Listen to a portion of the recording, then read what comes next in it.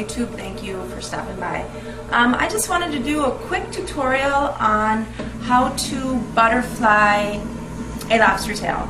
Um, it's 2011 and we had lobster tail and crab legs and what else? Um, prime rib uh, for New Year's and New Year's Day. So I have this beautiful lobster tail here that we're going to just cut up and then we're going to put it in the oven and we're going to marinate it with a little butter and smoked paprika. So I'm going to put it down here so you can.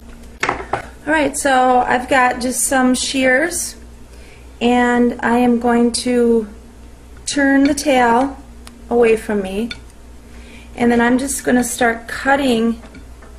I'm going to put my scissors right underneath it and then I'm just going to cut back. Okay? And I'm going to cut as far back, just about to the tail. Maybe a little bit farther. I'm just going to kind of pry it. Alright, that's good. Alright, so now that we have it cut, I'm just going to start kind of prying it open.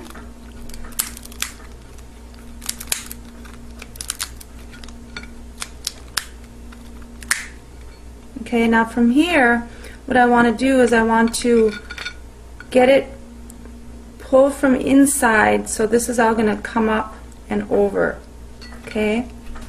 So basically, hopefully you can see this, I'm putting my thumbs underneath.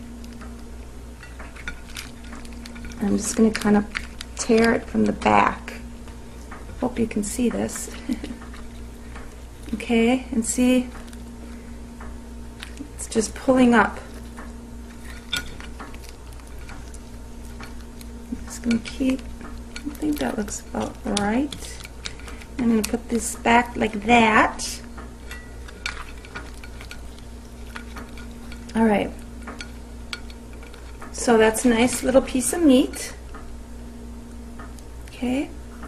And then what I like to do is I'm going to put some butter. And then I like smoked paprika a lot.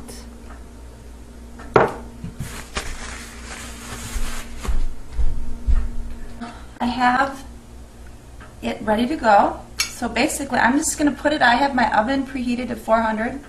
I'm going to put it in the oven for probably about 10 minutes. All right?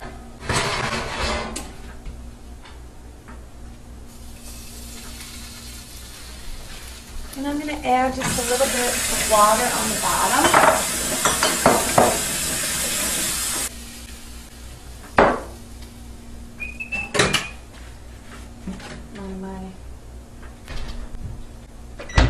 And that's it. So just cut through the shell, pull up the meat, um, add a little bit of butter before it's cooking, and then when you pull it out, you can add butter. And you don't even have to add butter if you don't want to. Um, you can add some lemon juice and put the cover on it and it'll steam it. So that's it. Thanks for stopping.